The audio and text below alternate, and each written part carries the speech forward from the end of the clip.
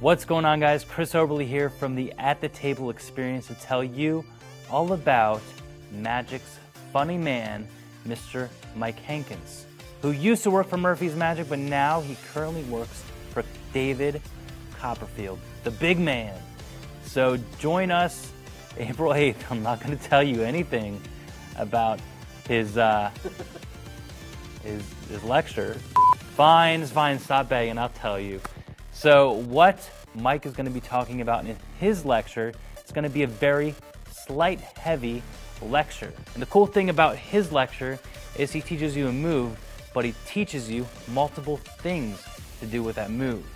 And he's going to be talking about his effect, which was awesome, called Illuminate, where you have a card selected and you uh, turn on your phone, the camera on your phone, and pretty much, I'm just going to cut it short, is this flame turns into the card that they selected that's uh, on the video on, on your phone. It's like really visual and stuff. You're just gonna have to come because it's probably one of the craziest things I've ever seen.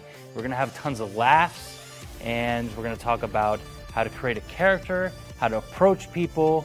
It's going to be so cool. So join us April 8th as At the Table presents Mr. Mike Hankins.